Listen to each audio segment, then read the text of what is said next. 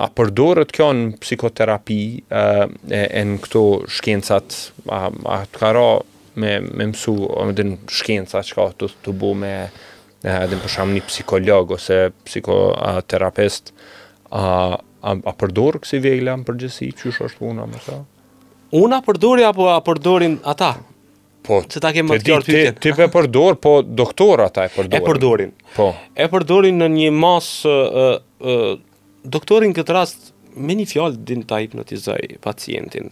Kur ë ë pacienti shkon dhe ka një hall, ankohet për një lloj smundje, ë një lloj dhimbje vujtje që ka ndër vite apo që është shfaq ndërkohë dhe Me anë të një pyetje doktori din që t'ja krijojë një besim ë pacientit në këtë rast. Mm. Pyetjen e parë që ja bën, a e ka dikush në familje këtë problem?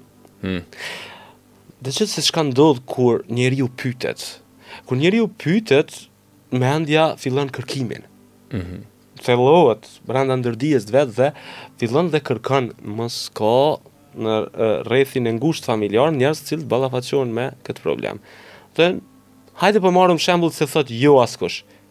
Thot po jashtë mos gjyshja, mos uh, kusherini, domethënë ta gjen një dikand mm -hmm. patjetër mm -hmm. që e ka pas njëtin problem dhe ja krijon një uh, Hmm. Fatkeqësisht ja krijon një besim klientit këtë rast ë që mm. e ka një përballje me një smundje dhe është e vështirë të shërohet. Duhet shumë vite, duhet me pi shumë ilaçe, ndoshta edhe me shku në operacion. Mm. Ndoshta edhe nuk ka shpëtim.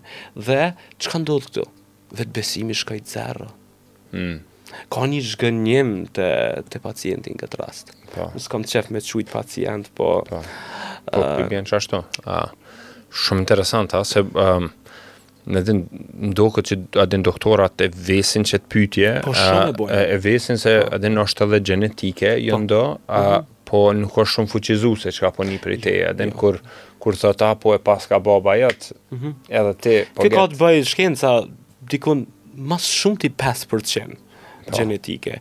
Po, me anë të meditimit, me anë të hipnoterapisë, e hmm. kemi të mundshme që edhe gjenetikisht të ndryshojmë. Po, sepse aq shumë ka fjalë, fjala i shëron emocionet. Hmm.